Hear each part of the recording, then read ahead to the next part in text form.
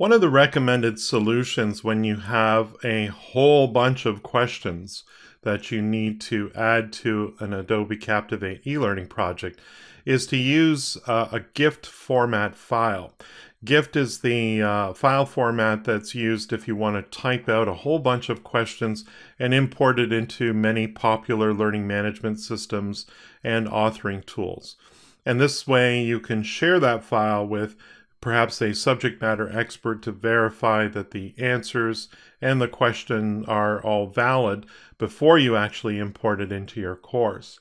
The problem exists though is that with an Adobe Captivate project, uh, there is an issue with uh, lines in the multiple choice, fill in the blank, and Likert question, even the matching style question. Uh, the, the lines of text really only allow for one line answers. Uh, this is a comment that was uh, on my channel a couple of weeks ago, uh, where Bodel15, uh, you know, asked, "Is there a possibility to preset the answer height in the master slide?" Well, unfortunately, on the master slide, if we go there right now, I'll open up my properties inspector and click on the master slide view, and we'll scroll down to, let's say, the uh, master slide for multiple choice questions, true, false, fill in the blank, and sequence. Um, the, you really can't control the line height because you see there's just really a placeholder that will eventually get populated with your answers. But, uh, you know, it really is not, not set up so that I can control the height of that. But here's my workaround. Hopefully this will help you what I can do is I can go to this particular uh, character item and uh, you know if you've got let's say in this example here 18 point high um, or 18 point size fonts you can double or perhaps even triple it if you know that you have particularly long answers that you need to import here.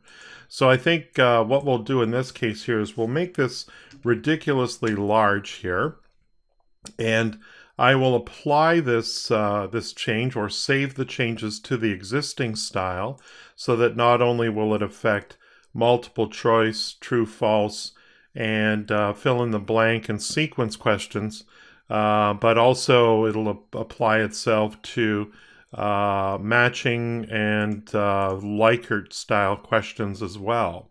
So I'm going to exit from the master slide and return to film strip view. And what I'm going to do now is use the quiz um, the quiz uh, drop-down menu and import my GIFT file that I've prepared for this example project. So now, of course, I've got uh, placeholders for uh, these answers, and as you can see, they're ridiculously large. My intention is not to keep them that way, but as you can see, the height of the placeholders for these answers are rather large, and that's helpful. So I'm going to return this item. I'm going to pick one of the uh, answers and return it back to its original character uh, size. I am going to change the alignment to top align so that the uh, the numbering or the lettering for each answer is aligned with the, the first row of those items. And now I'm simply going to, under the Style Name menu, save changes to the existing style. And what should happen is that it will update all of these with plenty of extra space for those items. You might have to adjust a few of these for certain objects that also appear on the screen, but as you can see, here's even an example where I have three rows and it's easily dealt with in just a couple of small steps.